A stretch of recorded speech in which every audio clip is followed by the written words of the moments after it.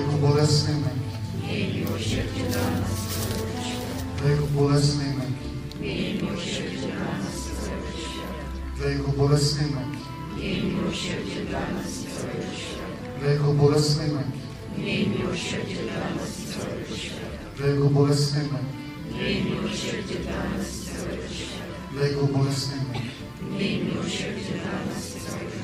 Święty Boże, święty święty a nieśmiertelny, zmiłuj się nad nami i nad całym światem. Święty Boże, święty mocny, święty a nieśmiertelny, zmiłuj się nad nami i nad całym światem.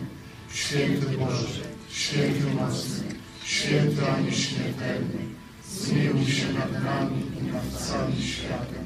Jezu, ufam Tobie. Dobry Jezu, a nasz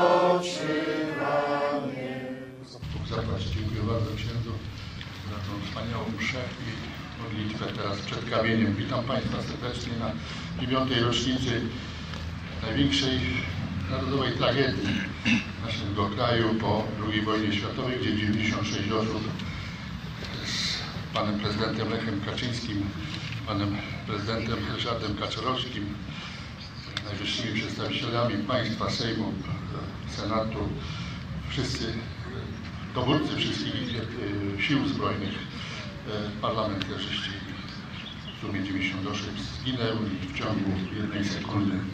Dziękuję Państwu bardzo za przybycie i uszanowanie tej rocznicy.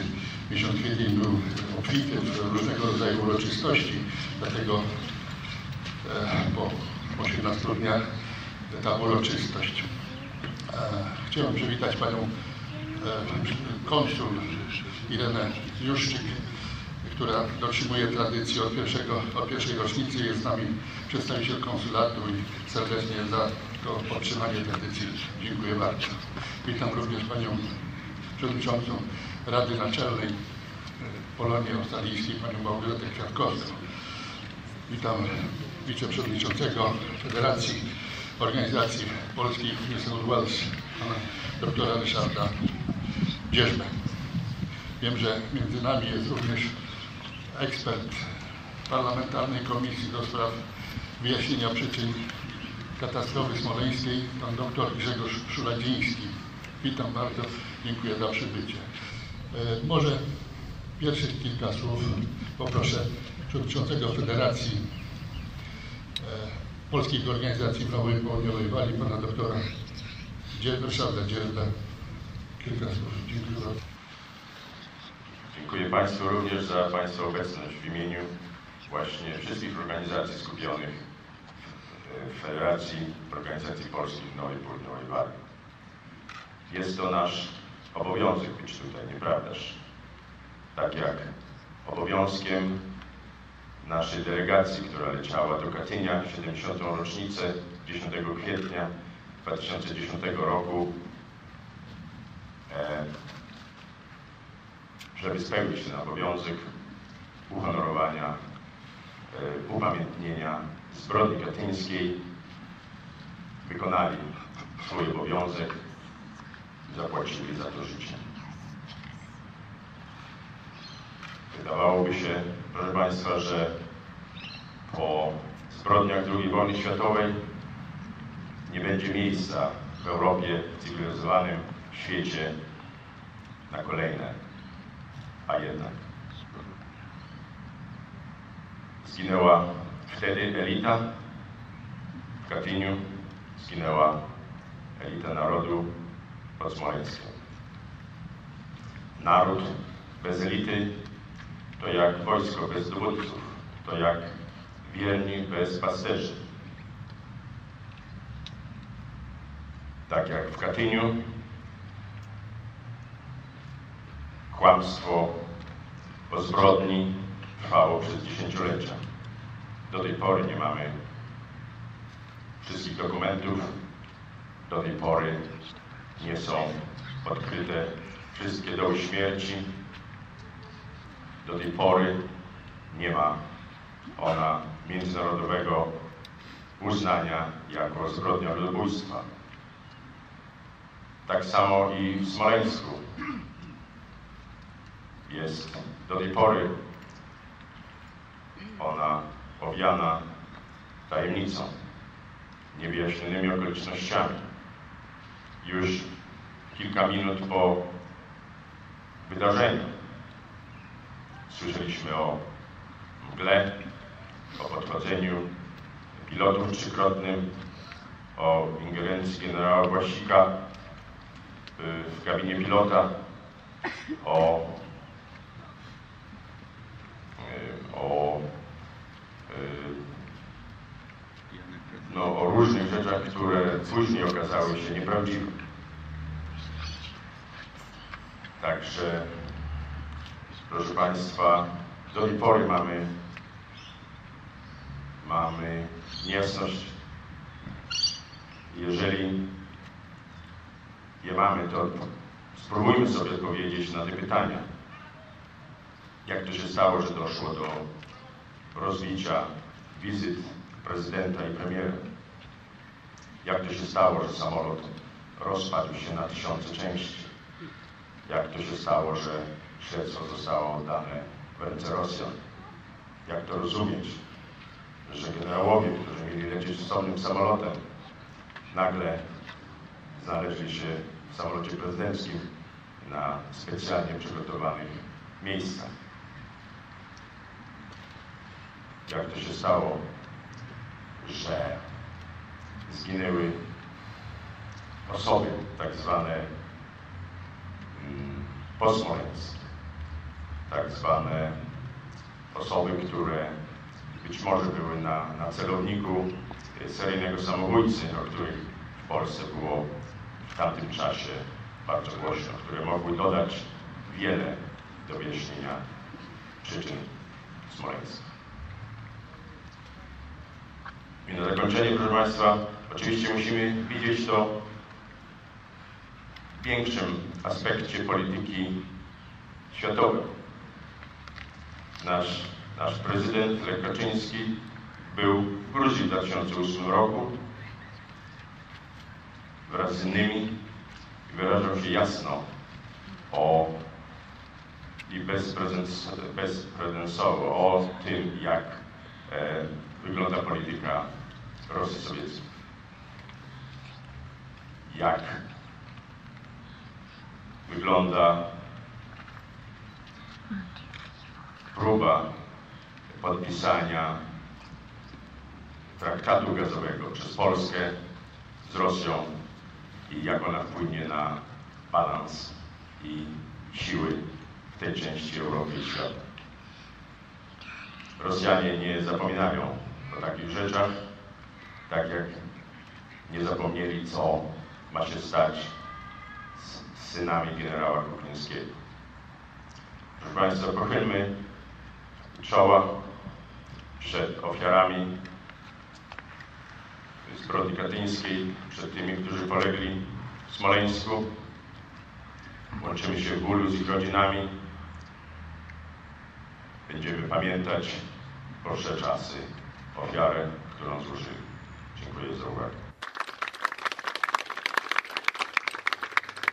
Dziękuję bardzo. Proszę Państwa, 9 lat minęło i w dalszym ciągu nie mamy końcowego raportu, co się wtedy stało. E, Są różnego rodzaju dokumenty, ale myślę, że najlepiej na to pytanie nam odpowie obecny tu wśród nas pan dr Grzegorz Szulagiński, który jak wspomniałem jest ekspertem Komisji Parlamentarnej e, pana Antoniego Macierewicza do spraw badania e, przyczyn wypadku katastrofy smoleńskiej. Panie doktorze, bardzo panu dziękujemy za przybycie i za to, co pan robi dla nas i dla kraju w sprawie wyjaśnienia katastrofy smoleńskiej. Dziękuję bardzo. Dziękuję bardzo. E, Szanowni Państwo, po pierwsze chyba zacznę od tego, co nie, e, co nie zamierzałem, a mianowicie powiedzieć z jakiego punktu ja mówię. Mówię z punktu widzenia Mówię z punktu widzenia osoby prywatnej, dlatego że w zeszłym roku złożyłem rezygnację z komisji, ale nadal jestem w przyjaznych kontaktach e, z jej członkami. E, Dwie rzeczy chciałem Państwu powiedzieć. Pierwsza to coś na temat tych ostatnich sekund lotu. Chciałem scenariusz taki przedstawić. Znaczy, ostatnia droga główna, przez, ponad którą samolot leciał, to była y, ulica Kutuzowa. Za ulicą Kutuzowa, tuż przez kilkadziesiąt metrów, są takie maleńkie, y, leżały, zostały znalezione szczątki samolotu, których właśnie trudno zi- zidentyfikować, bez, bez większego znaczenia. Dalej było poletko, gdzie leżały drobne ludzkie fragmenty. To polet, y, środek tego poletka był mniej więcej 70 metrów za drogą Kutuzowa. E, Za tym poletkiem dopiero zaczęły się e, większe części samolotu, a także znaleziono ciała ofiar katastrofy, większości ofiar katastrofy. Teraz y, odległość między, łatwo policzyć, że odległość między a, jeszcze jeden punkt. Przed szos, szosą Kutuzowa jest punkt T38, około 75 metrów, e, gdzie zdarzyło się coś w powietrzu. To coś to był wielki wstrząs, e, wstrząs, który systemy e, na pokładzie zapisały jako e, lądowanie, jakby samolot, jakby samolot łupnął ziemię. No, jedyną przyczyną, co mogło coś takiego wywołać, to był wybuch na pokładzie. Otóż wygląda na to, że według wszelkiej logiki i zapisków wygląda na to, że sekwencja była następująca. W punkcie T38 przed szosą Kutuzowa następuje wybuch, kadłub się otwiera, szczątki zostaną, zostają wyrzucone i lecą do ziemi. To wszystko zajęło mniej więcej dwie sekundy. I szczegółowa analiza w czasie pokazuje, że było dość czasu na to, żeby te rzeczy te, y, jakby to powiedzieć, y, wypadki nastąpiły jeden po drugim. Y, Także to jest, znaczy poparte zarówno, znaczy wieloma faktami, ale główne rzeczy to są znalezisko tych drobnych ludzkich szczątków i drugie to wstrząs wielki w punkcie T38 przed szosą. To tyle, jeżeli chodzi o scenariusz wypadku. Jest jeszcze druga rzecz, którą chciałem Państwu powiedzieć. Temat katastrofy smoleńskiej stał się o wiele mniej popularny w ostatnich latach. Już tak dużo się nie mówi. Jak ktoś chce wiedzieć, co, co mówią, o czym dyskutują, no to trzeba poszukać na internecie i to dobrze dosyć poszukać. Więc y, y, co jest specyficznego w tym takiego, że w tych, w tych obecnych dyskusjach? Zacznijmy od tego. W maju roku 2012 został wydany raport 456, który mówi wyraźnie, że y, to znalezienie drobnych ludzkich szczątków w dużej ilości świadczy o tym, że był wybuch, bo y, to jest jedyny sposób, jaki znamy, kiedy jest bomba, wybucha koło grupy ludzi, kiedy ludzie się zamieniają na drobne, no po prostu ciała zamieniają się na drobne szczątki. Y, I, I nie znamy innego sposobu takiego rozdrobnienia niż to, co, y, niż to, co niż może być spowodowane przez, przez wybuch. Czyli to jest coś takiego, jakby to powiedzieć, no, najlepszy dowód tego, co się stało, najlepszy dowód tego, że w powietrzu nastąpił wybuch lub wybuchy. Ym, I teraz, co, jaka była reakcja publiczności? No więc, jeśli chodzi o opozycję rządową, to y, reakcja była bardzo prosta i wyraźna i dotychczas trwa. Przemilczeć. To jest tak beznadziejny, są jak w tak beznadziejnej sytuacji, że nie ma o czym mówić, także cisza. A jak była znowu z- z naszej strony, to znaczy ze strony rządowej, to na początku był wielki entuzjazm, e, jeszcze zanim obecny rząd przejął władzę, ale później to coraz mniej. Teraz sprawa zupełnie przecichła. Czyli mamy bardzo osobliwą sytuację. Jest bardzo dużo dyskutujących, jeżeli dobrze poszukać na internecie, ale nikt nie mówi o tej zasadniczej, niezbitej przyczyny, yy, yy, o tej o naj, najmocniejszym dowodzie tego, co się stało. Jakoś sprawa ucichła. Nikt nie, to nie zostało podważone w sposób techniczny yy, w ciągu ostatnich yy, lat, przez te 7 czy lat, ale temat jest w ogóle odsunięty na bok, jest pełna cisza. Także to już Państwo sami mogą sobie dopowiedzieć, co i jak. Nikt na pewno yy, nie wie, ale to jest chyba wyraźne. Także dziękuję Państwu za uwagę. Dziękuję bardzo Panie Doktorze.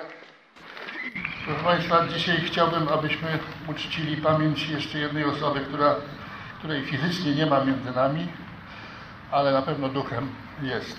Mówię o naszym przyjacielu Andrzeju Pokorskim, który zginął 7 kwietnia 2018 roku w rajd, podczas rajdu smoleńskiego tragicznie na motorze. E, Tydzień temu, a dokładnie rok, tydzień temu e, pożegnaliśmy go tutaj w tym kościele. Mówię o Andrzeju tylko dlatego, że nie tylko dlatego, że, że zginął, ale Andrzej był jednym z inicjatorów razem z Hubertem i ze mną byliśmy inicjatorami budowy tego pomnika. Andrzej był członkiem komitetu upamiętniającego ofiary, e, ofiary smoleńskie i dzięki pracy Andrzeja ten kamień dzisiaj stoi. Dziękuję Ci Andrzeju i bardzo proszę o, jeżeli mogę prosić o minutę ciszy.